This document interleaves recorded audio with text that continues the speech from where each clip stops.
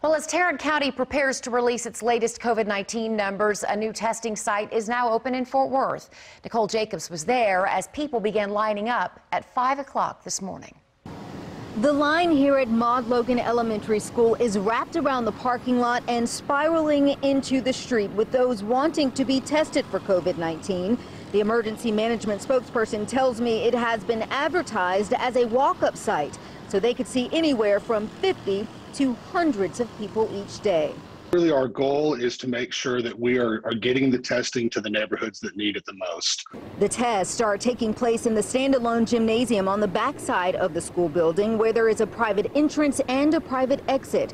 Organizers tell me their goal is also to make testing more accessible to residents throughout the entire area.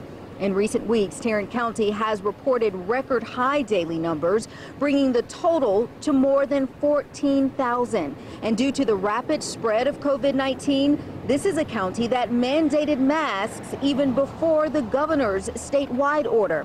A big concern here is asymptomatic people.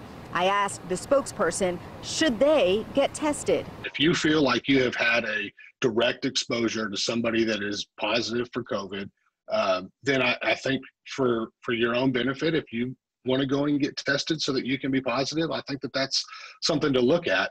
Uh, you know, we don't want people going and, and, using these resources just to, to go and say, oh, you know, I got tested and I was negative. We do want people that truly feel like they possibly could have the virus to use this resource. It is important to note you must have a phone number in order to receive a call to get your test results. The testing runs from 10 a.m. until 4 p.m. today through Wednesday.